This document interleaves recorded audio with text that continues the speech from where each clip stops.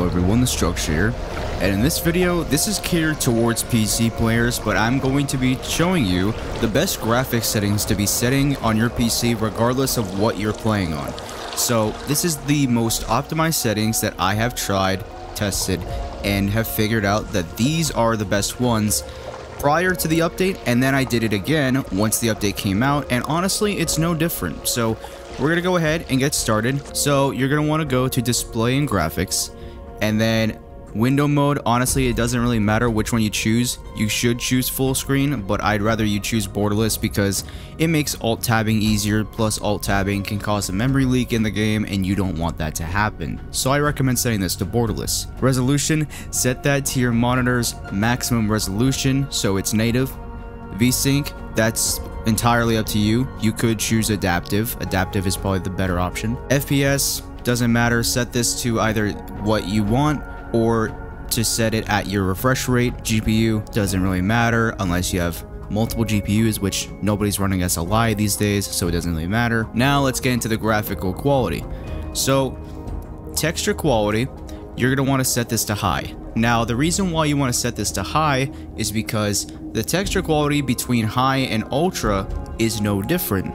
So except on a few opaque objects around the world that you're barely going to look at or notice. For, for example, like the green boxes that you find around the planets, that has a slightly different look on Ultra. It's just slightly sharper, but everything else has no change. So you're going to want to set this to high and save yourself some VRAM. Animation quality, you want to set this to enhanced because this is a very CPU dependent operation.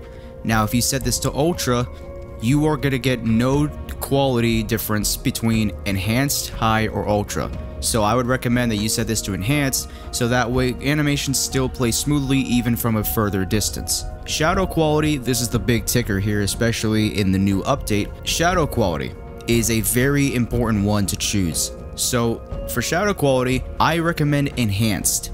Now, the reason I don't recommend high is because high has a weird issue with the GPU right now, especially on Ultra. Enhanced is the better option, plus they added screen space shadows, which if you don't know what that is, that means that smaller objects have a much sharper shadow at the source of it. It's kind of like ray tracing, but in a screen space solution. And on enhanced, the shadows are softer, not necessarily sharper, but the screen space shadows are unaffected. So in, in a way, it kind of gives it a more realistic appearance. The screen space shadows make the edges sharper, while the rest of the shadow from a distance is a little bit softer, and it adds a nice little touch of realism and saves you a lot of performance. Post-processing, you're going to want to put this on high.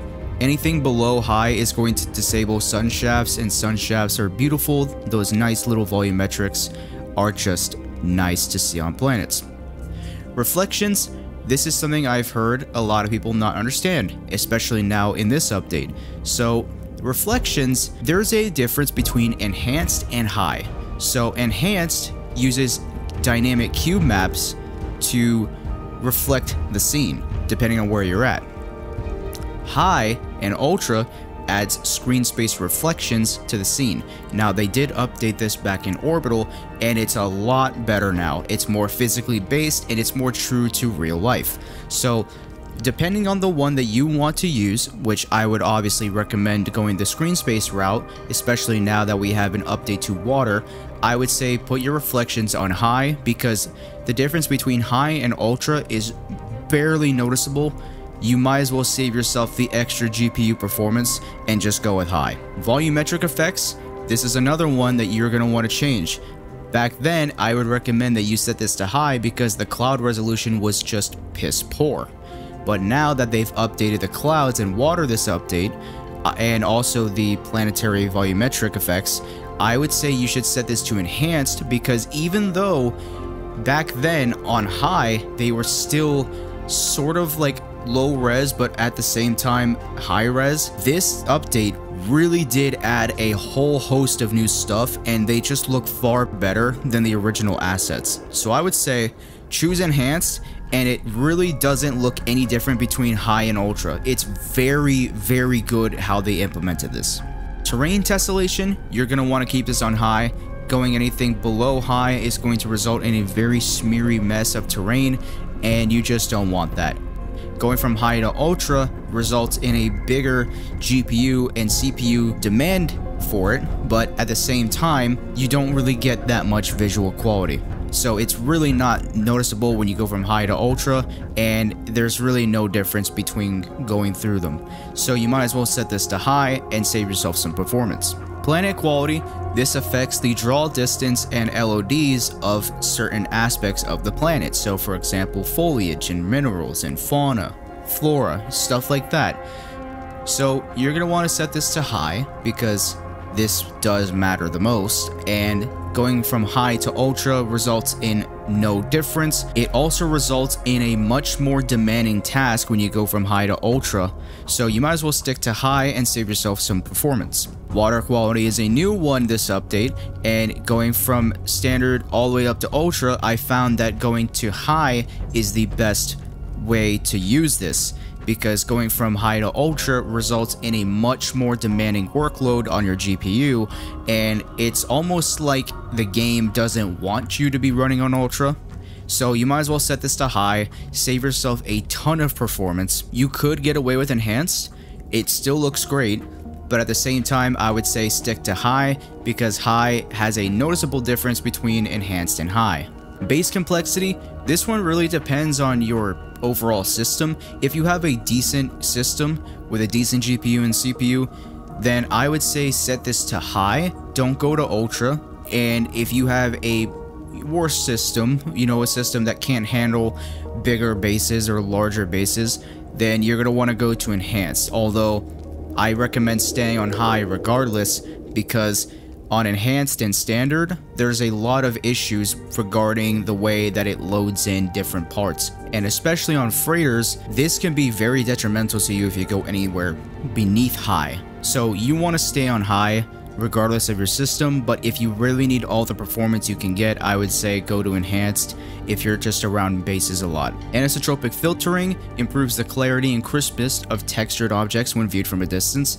I would say if you can set this to 16, you could go to 8 and save yourself even more performance, but going to from 8 to 16 does have a visually noticeable difference and I would say that I recommend keeping it on 16 since it's the modern standard nowadays for gaming. You might as well go ahead and do that and get yourself some nice crispier textures from a distance. Ground Truth Ambient Occlusion, aka GTAO, is a screen space algorithm that creates shadowing around objects. Essentially what it does is if you have like parallax textures or things like that, you know, things that have a lot of depth to it, or just an object in general, then it'll cast like a slight shadow around the edges of it where it's needed. Honestly, going from enhanced to high and ultra has no difference. You might as well stay on enhanced. This is a new piece of technology this update. If you have the ability to turn on NVIDIA Reflex, do so. If you don't have an NVIDIA GPU, this is not going to be accessible to you. Let's talk about anti-aliasing because there is a whole host of different stuff here. So we have FXAA, which is very fast filtering but can result in a slightly blurred image, TAA, which is a fast multi-frame sampling that is sharper than FXAA, FSR 2.0, DLSS, and DLAA. Now, I didn't mention FSR and DLSS because these are upscalers, especially DLSS. Like I said, if you don't have an NVIDIA GPU, you can't take advantage of DLSS or DLAA. But if you have FSR 2.0, which the majority of you do, it is a open source temporal upscaling solution. It's not AI based like DLSS or DLAA, but it does provide a good amount of quality for what it's doing. So if I had to choose between FXAA, TAA, and FSR, I would choose FSR because the TAA solution in this game is honestly pretty bad, and I would say FSR 2.0 on quality mode is probably your best bet. If you can't get good performance with that, you might need to drop FSR's quality, but other than that, I would recommend FSR 2.0 for the majority of people, but if you have an NVIDIA GPU, take advantage of DLSS. And if you have a strong GPU, recording from NVIDIA, then I would say choose DLAA. For example, I have a 3070, so I can take advantage of DLAA, regardless of my quality settings. HDR and motion blur is subjective, You can turn on HDR if you want. I don't use HDR purely because I want the most color accurate display. And motion blur, I just don't want to use period because it looks bad on videos. So with that out of the way, that is pretty much it. And honestly, this is the result you get. The water still looks beautiful and the skies still look beautiful. Textures are still high quality. There really is not that much of a difference, man, if I'm being completely honest with you. Shadows still look great. They're nice and soft, but they're not like low resolution soft. They just look soft. The screen space shadows add shadowing around the character and objects that need it, and it looks great. Anyway, let's get to it for this video. If you enjoyed this PC optimization guide, make sure you like, subscribe, and hit that bell. To protect and serve.